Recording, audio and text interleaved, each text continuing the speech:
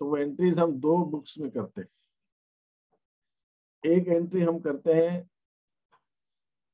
Drawer की books में और एक एंट्रीज एंट्रीज हम करते हैं ड्रॉई के बुक्स में, जिसके ऊपर बिल लिखा गया है और जिसने बिल ड्रॉ किया है दोनों। तो मैं यहाँ पे बना रहा हूँ बुक्स ऑफ़ ड्रॉवर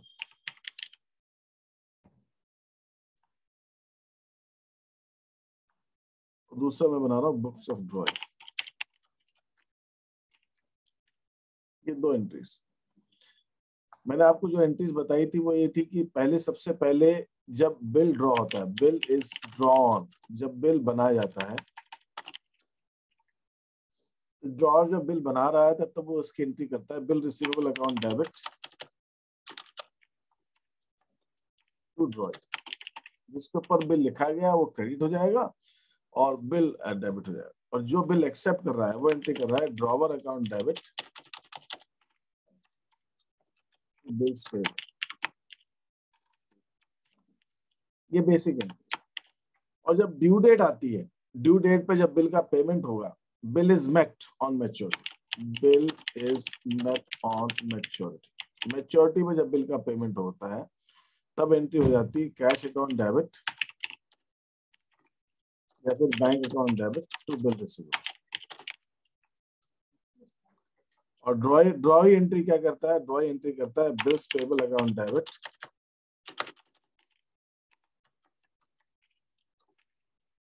cash या एंट्री होती है। इन दोनों एंट्रीज में कोई डाउट तो नहीं है किसी को? Is this clear yes sir. Yes, sir. Okay Yes, sir. Fine अब एक दूसरी चीज़ सिचुएशन बनती है कि ड्यू डेट पर बिल का पेमेंट नहीं हुआ, जिसको हम कहते हैं बिल इज़ डिसऑनर्ड बिल का पेमेंट नहीं हुआ। है ना? जब ड्रॉ ड्रॉर ड्रॉई के पास बिल लिखे गया तो ड्रॉई ने बिल का पेमेंट नहीं किया। उस स्थिति में क्या होता है कि हम इस एंट्री की रिवर्स उल्टी एंट्री कर देते हैं। मतलब ड्रॉई फिर से डेटर बन जाता है। और बिल रिसीवेबल कैंसिल हो जाता है। और ड्रॉई की बुक्स के अंदर ड्रॉवर वो बिल्स पेबल डेबिट हो जाएगा, बिल कैंसिल हो जाएगा, और ड्रॉवर जो है वो क्रेडिट हो जाएगा।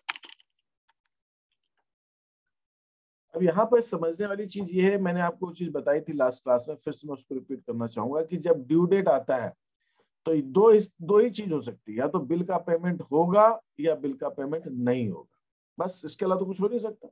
ड्यू डेट आ गई बिल का पेमेंट ड्रॉर ने दिखाया बिल का पेमेंट करो, या मत, नहीं होगा। अगर बिल का पेमेंट हो जाता है, तब तो कैश डेबिट हो जाएगा, और नहीं होगा तो ड्रॉई डेबिट हो जाएगा। लेकिन दोनों ही कंडीशन के अंदर जो बिल है, वो तो क्रेडिट करना ही पड़ेगा बिल को खत्म करना उसे। उस दिन के बाद उस बिल की कोई वैल्यू नहीं और इसी ढंग से जब ड्रॉई उस बिल का पेमेंट करता है तो कैश को क्रेडिट करेगा, नहीं करेगा तो ड्रॉवर को फिर से क्रेडिट कर देगा। ड्रॉवर जो है वो फिर से क्रेडिट हो जाएगा। लेकिन ड्यू डेट पर बिल्स पेबल तो हर हाल में डेबिट होगा ही। बिल्स पेबल तो डेबिट हो गए। ये आपको ध्यान रखना अब एक छोटा सा पॉइंट और है जो नेक्स्ट टाइम मैं आपको बताना चाहता हूँ। इतनी बात हमने कर चुके हैं। That is called noting charges मैंने कहा था, एक पूछा गया था मुझसे डाउट कि नोटिंग चार्जेस क्या होते हैं।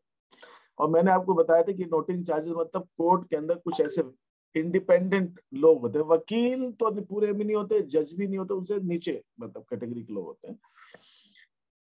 बट उनके वो विटनेस का काम करते विटनेस माने एक एक दर्श, एक प्रत्यक्ष दर्शी का काम करते हाँ मेरे सामने ऐसा हुआ है। और उनकी बात को कोर्ट मानता है। कोर्ट उनको बुला सकता है कि भाई, आप बताइए, आप जब गए थे तो क्या हुआ था? तो प्रूफ होता है। और वो नोटरी क्यों लिख रखे जाते हैं कि नोटरी दोनों पार्टी से अलग है।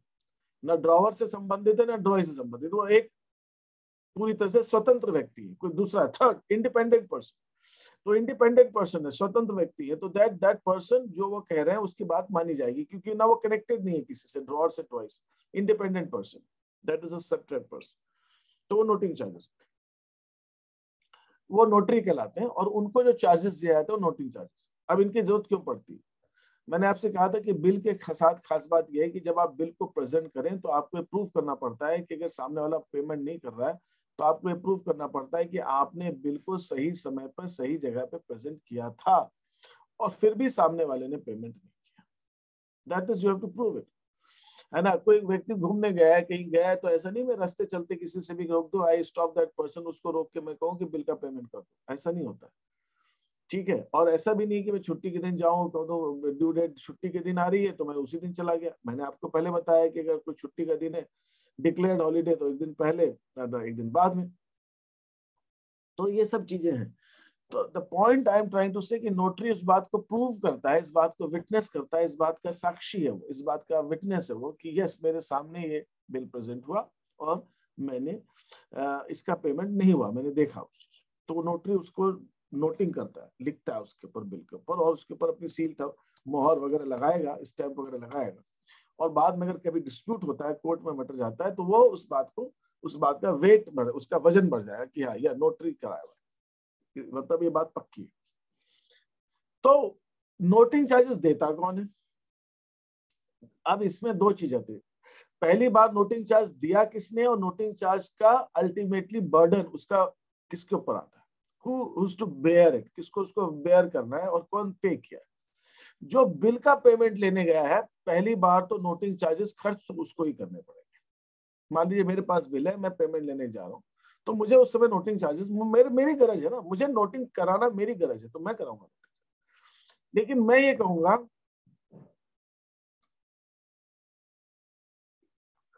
कि कि जो नोटरी चार्जेस लगा है, किसकी वजह से लगा है? ड्रॉय की वजह से लगा तो मैं रिकवर किससे करूँगा? ड्रॉय से रिकवर में इसको वसूलूँगा ड्रॉई से। ड्रॉई से मैं वसूल लूँगा इसको। लेकिन पहली बार रिकवर उससे करना है, लेकिन पहली बार खर्च तो मैं करूँगा। तो कैश मेरा जाएगा। लेकिन मैं किससे कहूँगा? ड्रॉई से कहूँगा कि ड्रॉई को जो बिल का पैसा है जो उसने नहीं दिया, वो भी देना और ये नोटिंग चार्जेस भी देने। किसको? ड्रॉई को। That is how it happens is इसकी एंट्रीज क्या होती है? इसकी एंट्रीज आपको समझनी ज़रूरी नोटिंग चार्जेस नोटिंग चार्ज पहली बात तब दिया जाएगा जब तो जब बिल डिसऑनर होता है। जब बिल देखिए अब मैं इसको समझा देता हूँ, आपको थोड़ा सा ध्यान दीजिएगा। जब मैंने नोटिंग चार्जेस का पेमेंट किया, कौन, मैं कौन हूँ? ड्रॉवर तो मैं एंट्री कर सकता हूँ noting charges account debit to cash लेकिन साहब ये नोटिंग चार्ज मेरा सपोज़ सौ रुपए का नोटिंग चार्ज ये नोटिंग चार्ज मेरा खर्चा है ही नहीं। मेरा तो खर्चा ही नहीं। मैं तो इसको ड्रॉई से वसूलूँगा। तो मैं एक दूसरी एंट्री करता हूँ ड्रॉई को रिकवर करने के लिए drawee account debit noting charges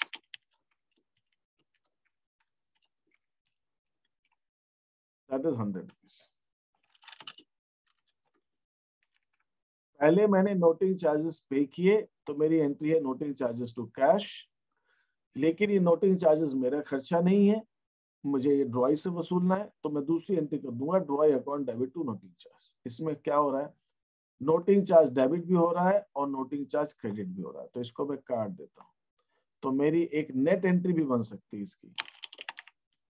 Drawee account debit cash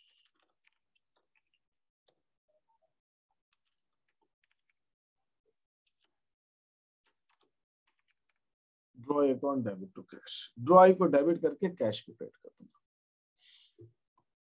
मतलब ये मान रहा हूँ मैं कि नोटिंग चार्जेस के जो मैंने कैश दिए, वो ड्रॉई को दिए।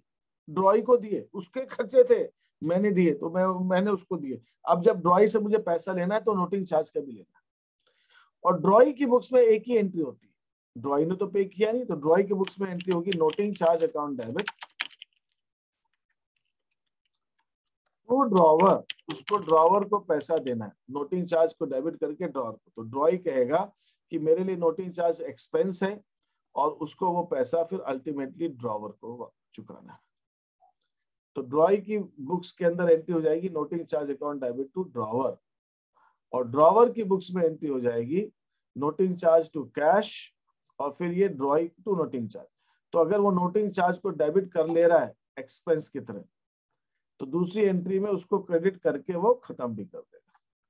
फिनिश डेबिट हुआ क्रेडिट अल्टीमेटली ड्रॉर की बुक्स में एंट्री क्या बनी? Drawee account debit to cash तो ड्रॉय डेबिट टू कैश ये एंट्री बनेगी तो अगर मैं इसी एंट्री को इस एंट्री के साथ जोड़ना चाहूँ जोड़ना चाहूँ कि ड्रॉई ने ड्रॉवर ने नोटिंग चार्ज दिया तो मैं इसी एंट्री में लिख सकता हूँ drawee account debit to bills receivable to cash तो इसका मतलब ये हुआ कि अगर मैं ऐसा कहता हूँ कि bill of rupees three thousand is dishonoured एक तीन हज़ार का बिल डिसऑनर हो गया। And drawer pays noting charges drawer ने नोटिंग चार्जेस चुकाए हैं रुपीज़ हंड्रेड डिसऑनर हो गया और ड्रॉवर ने नोटिंग चार्जेस दिए हंड्रेड रुपीज़ तो अभी इस केस के अंदर जो ड्रॉवर है, उसकी बुक्स में एंट्री होगी। ड्रॉई अकाउंट डेबिट ड्रॉई से वो लेगा तीन हज़ार एक सौ रुपए। टू बिल्स रिसीवेबल कितना? तीन हज़ार। और सौ रुपए का जो कैश है, वो टू कैश हंड्रेड और ड्रॉई क्या एंट्री करेगा? ड्रॉई एंट्री करेगा। वो, bills payable account debit. Bills payable की रिवर्स एंट्री होगी तीन हज़ार की। Noting charges account debit. Hundred rupees to drawee three thousand one ये एंट्रीज हो जाएँगी बुक्स के अंदर। सर, टू ड्रॉर होगा ना? Yeah you're right you're right you're right you are right absolutely right absolutely right absolutely right यहाँ पर ड्रॉई नहीं आएगा यहाँ पर ड्रॉवर आएगा तो पर वो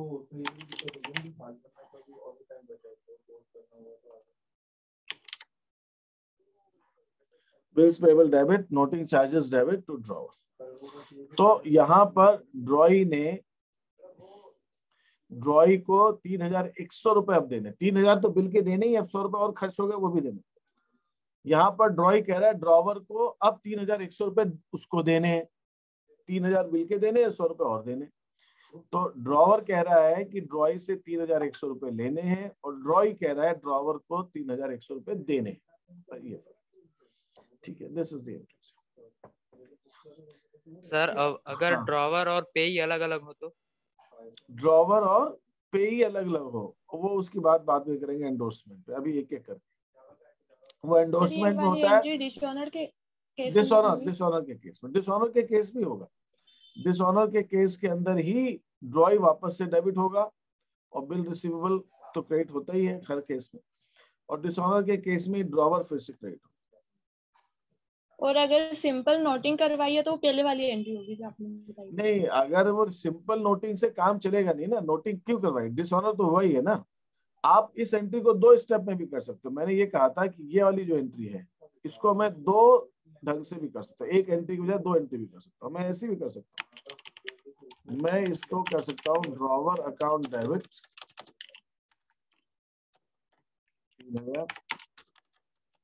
bill receivable तीन हज़ार ये अलग एंट्री कर दू। फिर मैं नोटिंग चार्ज जो मैंने दिया, मैं उसकी एंट्री भी कर रहा हूँ अलग से।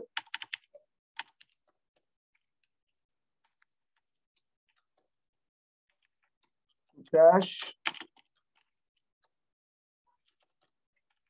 फिर ये नोटिंग चार्ज मुझे ड्रॉवर से वसूलना है तो मैं एंट्री कर रहा हूँ।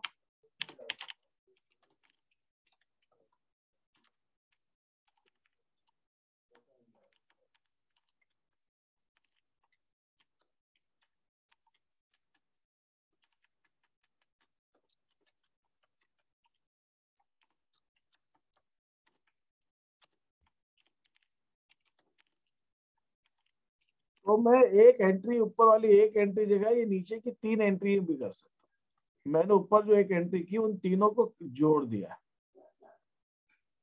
इन दोनों एंट्री को जोड़कर एक एंट्री भी बनती है। Draw account debit to cash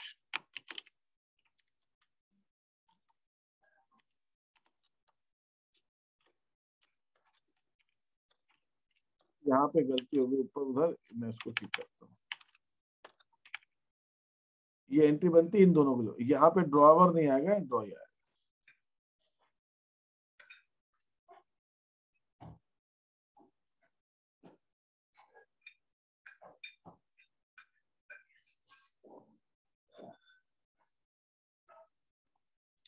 यहाँ पर मुझे ड्रॉ ही लिखना है।